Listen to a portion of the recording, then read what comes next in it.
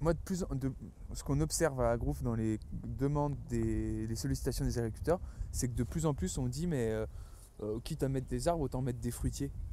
Ah, ouais. Alors là, tu as mis des noyers, tu comptes ramasser les noix, tu as mis beaucoup d'arbres forestiers, pourquoi tu pas mis des fruitiers? Euh, il y a 20 ans, c'était pas du tout. euh, L'agroforesterie ne reconnaissait pas les, fruitiers, même en, en, en OG. hein.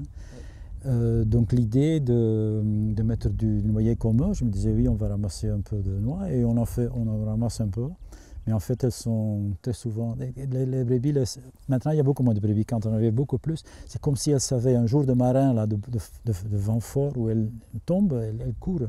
Il y a quelques chaînes en bas, là, euh, quand on les lâche en automne, euh, elles vont direct pour, pour la glander.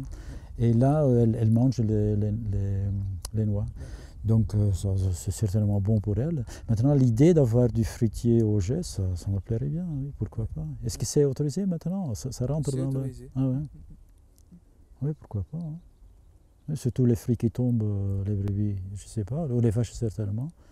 Les brebis les mangent peut-être. ouais. Mais le technicien ne voulait aucun mélange. Ouais. Ce n'est que l'année d'après où il, euh, il s'était mis un peu dans l'idée que c'était de l'agroforesterie, parce que pour lui c'était toujours du...